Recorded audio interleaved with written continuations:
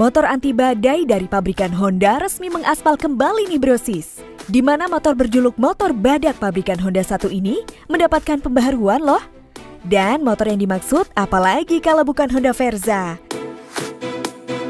Di mana motor ini memang terkenal bandel dan awet brosis. Hadir di kelas naked bike, pada Honda Verza ini memiliki desain headlamp membulat serta kedua sen pada sisinya. Lalu menariknya, meski di bagian headlamp terlihat klasik, tapi di bagian panel instrumennya menggunakan panel yang berdesain modern dengan instrumen digital. Beralih pada bagian samping, senada dengan panel instrumennya, meski di bagian depan terlihat klasik, tapi di bagian fairing samping terlihat cukup sporty, serta desain tangkinya pun tidak terlalu membulat. Jadi, kesan modern masih tetap ada pada motor ini.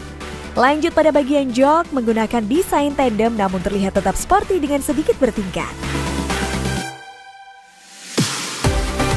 Untuk urusan kaki-kaki dan suspensi menggunakan suspensi konvensional pada bagian depan dan velg 17 inci dengan ban 80 per 100 serta dengan pengereman cakram depan. Sedangkan di bagian belakang menggunakan suspensi konvensional dan velg 17 inci dengan ban 100 per 90. Hadir di kelas naked bike pada Honda Versa ini dibekali mesin 150cc PGM-FI yang mampu menghasilkan tenaga sebesar 9,59 kW pada 8.500 RPM dan torsi 12,73 Nm pada 6.000 RPM dengan transmisi 5 percepatan. Dan untuk harganya dibanderol 20 jutaan di Indonesia brosis. Cukup worth it untuk motor di kelas 150cc, apalagi Honda Verza ini terkenal bandel dan awet. Jadi menurut Mimin, motor satu ini cukup layak untuk menjadi salah satu pilihan motor harian kalian brosis.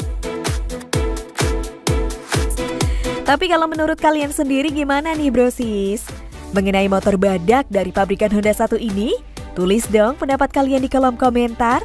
Sekian info otomotif kali ini dan jangan lupa subscribe channel ini agar kalian tidak ketinggalan info otomotif menarik dan terupdate lainnya. Mwah.